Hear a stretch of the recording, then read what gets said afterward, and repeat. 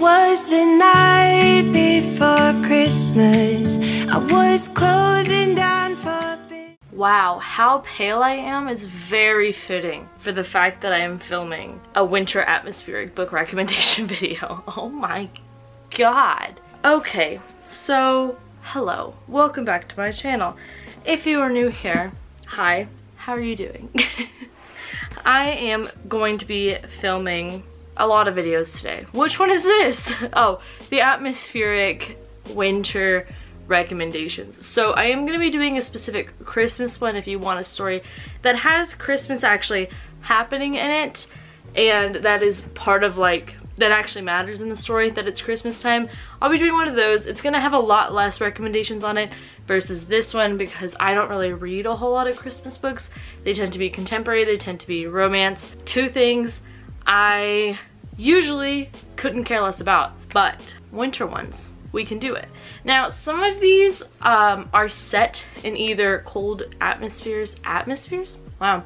Some of these are set in cold climates, or some of them are set in places that just feel cold, like the world feels cold. Some of them are more of late fall into winter. We'll just get into it. I know there are a few that I just happen to read in winter time, so now they feel wintry, but you know, it's fine. It's all fine. So the first one I have is actually one that I am currently reading for the Patreon Buddy Read this month, and that is Green Glass House.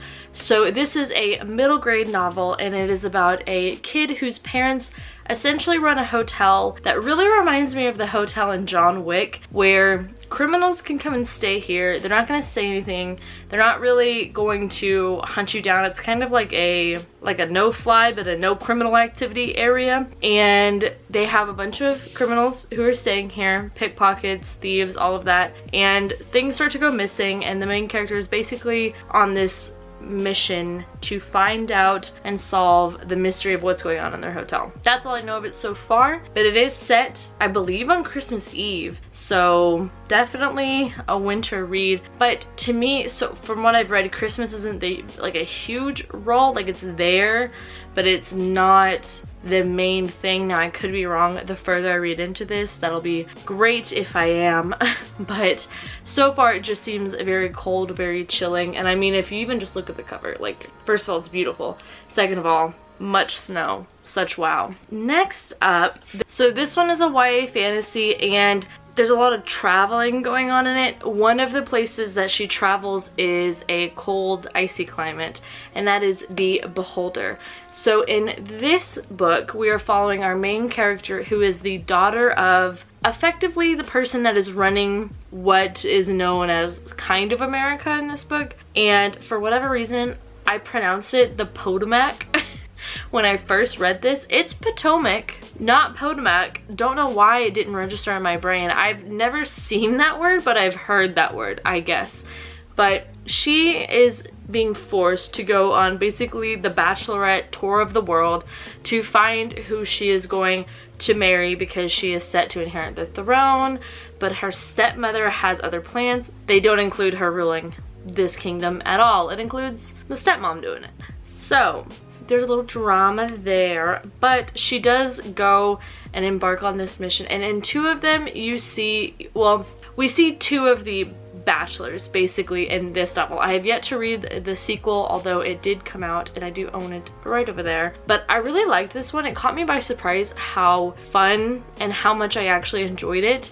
It does kind of have the stereotypical, a little whiny main character, but I can understand why she's a little whiny considering she's like what 17 her stepmom basically uh, performed a coup and got her out of this kingdom that she's set to rule while her dad is sick and now she has to go basically interview to be these people's wives. Uh, wives there's not many of her there's one of her wife. I would be pretty whiny too. That doesn't sound fun but it is a fun book and it got me in the feels and I didn't think it was going to so I definitely recommend. Next up we have arguably one of my favorite, I want to say this is a duology, but I'm not 100% sure. I'd love to be wrong. But Roshani Chokshi is one of my favorite authors, and these two books are why. Now, The Gilded Wolves is not wintry, The Silvered Serpents is, but you have to read this to get to this. You gotta pass this level to unlock this one. You feel me?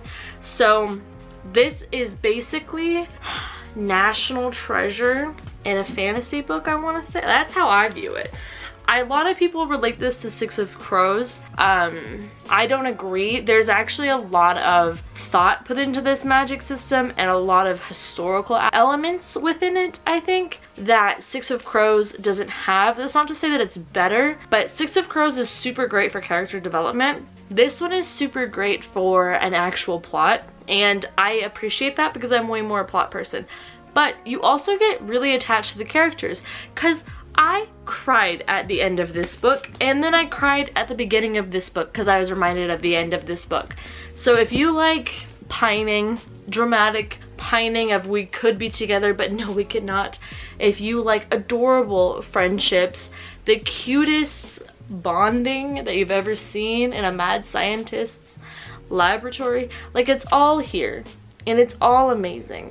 And I do think this is basically a national treasure heist kind of book. And I recommend not knowing much more than that going in other than pay attention to every single freaking thing that is said because it is a clue whether you paid attention or not. And can you tell that at one point I slipped up? I surely did. Now when we get to the silvered serpents this gives me Russian vibes. Never been so I don't know if that's true but it does and this does as well but it's honestly it turns up the winter factor because we're like in an ice kingdom and it turns up the angst and the pining. So it's all around just a good time. I highly recommend i read this i think a year ago now? I think a year ago and I didn't have anyone to talk about it with and I was so excited for it to finally come out so people would talk about it and I have seen no one talk about it and I'm very upset by it. So I think what I'm gonna end up doing is rereading them so that I can talk about them and make a book talk journal review thing. Um, I'm also gonna spray the edges of this one because this gold was a trip. It was very hard to do with these deckled edges and I am low-key proud of it, but thank God these are not deckled so that I can just do silver and it will actually look right. So yeah, I definitely recommend these though. Next up is a series that I don't really know why these give me winter vibes, but they do, and that is the Folk of Air trilogy. Is that what it is? The Folk of the Air series. Oh, I was right. Look at that. Well, we can just do away with that one. the Folk of Air duology. The only two books I recognize in this series because they're the only valid ones. So I feel like everyone and their mother knows about these two wonderful books within this wonderful duology that definitely does not have a third book that totally fell flat and just was pointless. Um, but in case you don't, we are following Jude, who is a human that was brought to the fairy world, and basically we're following her growing up in it. And there is a prince who is at best a little spicy, uh, wouldn't call him mean at all. Don't this is not enemies to lovers. It is, I can't, I don't like you much, but low-key, low-key. That's what this is. Um, it's really good though. I really like it. I enjoyed this. There, this book, this duology, if you will, you will, because we don't know the third book on this channel. Uh, it is an interesting one in the sense that at the same time that it feels like there's a whole world we're diving into, there's not a lot that we're given. I feel like it's very much we're given the bare bones of this world and then your brain kind of comes up with the rest of it, which I don't hate. I actually you know, sometimes do like when fantasy books chill out with so much world building and info dumping that you kind of get to fill in the blanks because it's a way more relaxed read that way, I think. So I definitely recommend these. I guess if you have to absolutely read the third one, that's fine. There is an underwater element that is in here that is pretty cool. I'm just extremely bitter to the point that I refuse to pretend that I'm not because this could have been more. it just, it could have been better. It could have been so, oh man, it could have been so good. This first book was, I remember staying up until 2 a.m. No, when did I get it? I got an arc of it. NetGalley has this really cute and fun thing that it does where sometimes it'll approve you the day before a book gets published, which in hindsight, feels kind of like they're setting you up for failure. But I was so excited to get this that I didn't care. I was like, let me fail. But in reality, my big brain said, bet I'll read it in a night. And I surely did. I started it at like 9 p.m. I finished it at 2 a.m. that same day and I just about lost it. It was so good. It was, I hadn't read anything in YA like it before and I just think that that's because I wasn't too big into YA at the time. I was still finishing up the Lunar Chronicles. I was catching up on Throne of Glass. I had just started this. I was getting into kind of, I feel like if you're on the outside looking in and you've never participated in the book community, what the like essential go-to recommendations are on booktube and bookstagram typically and so this one definitely was really fun and i really liked it it was honestly that's the best way to describe it it's it's a really fun book the wicked king took it to another level where I legitimately could not put this book down. And once again I read it in a day which is awful because I wait a year or so for these and then I read them in a day and then it's done. And I just want more. So then that was done. So then I get to the Queen of Nothing. And this is the smallest book of all. And everyone was so excited because she announced that she was going to be releasing it I think three or so months in advance and then uh, it was very clear when I was reading it that it was released early and I feel like there just could have been more to it. And the next book in this world which isn't in the series but it's about Cardan comes out I believe this month and everyone's really excited about it. I am too. I'm still gonna read it. I just think that the reason that this one was so rushed was to get that other book out which is fine. Get your coin. I just think it could have been ended a lot better. And if you know about the riddle in The Wicked King, it was such a letdown what the answer was. It almost is as bad as the answer to the incredibly hard to decipher riddle in A Court of Thorns and Roses. Almost. Not quite, but almost. If you know, you know. We love to see it. We love to see it. Next up, I have a couple thrillers because I feel like this is a really fun time to read thrillers. I know One by One by Ruth Ware is one of these that people are really liking. I haven't personally read it, so I'm going to be actually be reading it for Winterween, which is happening the first week of January. So, if you liked Summerween, welcome to Winterween. Maybe Springween. Springween. That is just fun to say. I'm gonna talk to Gabby. That needs to happen just because it's such a ridiculous name. But the first one I have is by an author I absolutely adore, and that is Shari Lapena. This is the only book by her I have not read yet. It's also going to be on my Winterween TBR, but it's an unwanted guest. All I know it is set in a cozy mountain lodge where they're supposed to have the perfect getaway. And then a storm hits. And this sounds very much like One by One by Ruth Ware. And I just like that whole atmosphere. So I'm excited for this one. I definitely can't wait to get to it. Shari Lapena is one of those thriller authors that it's nothing that's gonna blow your mind away for me personally, but I always know 100% I'm at least gonna have a three and a half star good time. Which to me is a fairly good rating, especially for thrillers, but she has never fallen below a three star for me. And there have been some bad thrillers that I have read before, but hers are always they're always a fun. They're at least entertaining, and that's really what I go to thrillers for, so she never fails me. Then I have Eight Perfect Murders by Peter Swanson. This is about a man who works in a bookshop and on a blog he wrote basically kind of like how if I don't know if you were in the book blogging days but top 10 Tuesday was a thing. I used to do it every single Tuesday religiously every single Tuesday when I was running my book blog. And he basically wrote a top 10 Tuesday for the best murders but it was eight obviously. Perfect murders carried out throughout literature. So this is a spoiler for all the that it lists on the back so make sure you check that out because I did spoil myself for a couple of these.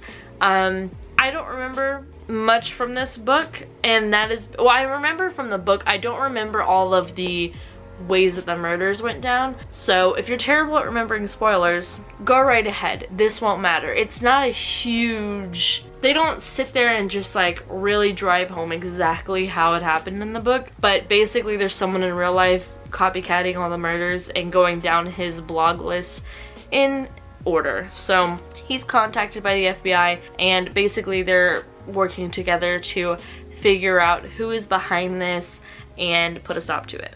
So it's very good, very fast paced. For me personally, I thought it was fast paced. I know a lot of people certainly did not, but it's under 300 pages and yeah it's just I thought it was a really fun one. Then I feel like the one that a lot of people recommend for a winter thriller is No Exit.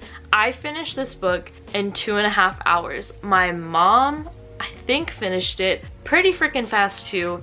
It was just a good time. So this girl is basically trying to get home after I believe her mom is admitted to the hospital I think and she stops at this gas station truck stop kind of thing and they're basically snowed in because the roads are too overrun by snow to keep driving and she sees a child in the back of one of these cars and that is when it goes crazy because one of these people has kidnapped a child and a lot goes down. And then I have a book that I feel like people either love or they hate which kind of honestly is a lot of books that I love and that is A Discovery of Witches. So this is about a woman who is a professor, I suppose, at, Lord, I don't even know, Oxford. I was gonna guess that. Look at that. I was right. And she is a witch. And she meets a vampire. And all of a sudden, all of these magical creatures are after her because she got her hands on this book that has been hidden for centuries. The vampire is very interested because he has been looking for it for the longest time. And essentially it is a book of life, which is kind of detailing how all these mythical creatures were created in the first place. And she had the powers to unlock it and call it forth.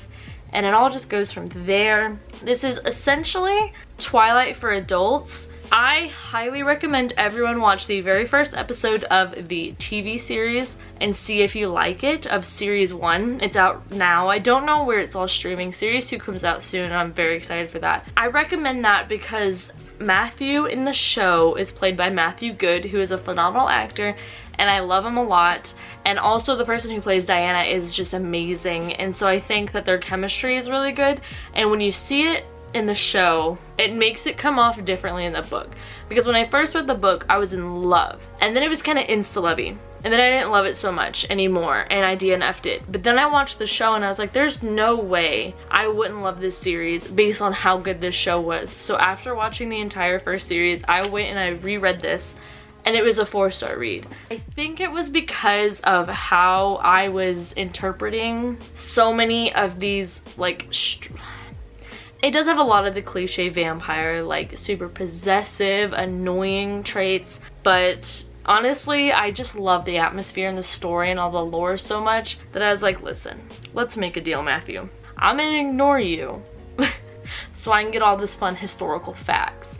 And what I really love is the author is actually a historian herself and you can definitely feel that in the writing. You have, there's so much history and actual facts brought in that it's just such an interesting extra add-on to the book and I really loved it. Now these last two, I actually can't speak to one of them. The other one is Spinning Silver and I have started that. Definitely a winter read for sure. I know that a lot of people also love Uprooted. I have not read this. I've heard it is more along the lines of a fallish vibe but I want to read both so that's kind of the goal.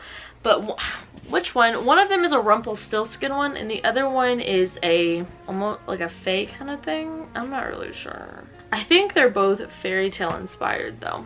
But either way, I'm adding these as a bonus round because I'm personally going to be reading for the winter atmosphere that other people have described. I don't know if they are, but I wanted to throw it out there in case you thought maybe you would like them. Also, these editions are the Illumicrate. I got questions about that in my last video that I showed them in. They're beautiful. They've got sprayed edges. They've got special end papers and little tassels that I haven't taken out yet because I'm going to use them when I read them. But yeah, I just think that these are absolutely gorgeous editions and I would like to read them. So yes, that is my uh, winter atmospheric reads recommendation video. Definitely let me know down below if there are any that you are gonna pick up, if there are any that you would totally add to the list because I would love more for when January rolls around and I don't already have a TBR that I'm trying to get down by the end of the year. And if you want an emoji to comment, I think a snowflake is quite practical for this video, wouldn't you say? so comment a snowflake emoji down below. And thank you so much for watching. I hope you guys are having a wonderful morning, afternoon, or night, wherever you are, and I will catch you in my next video.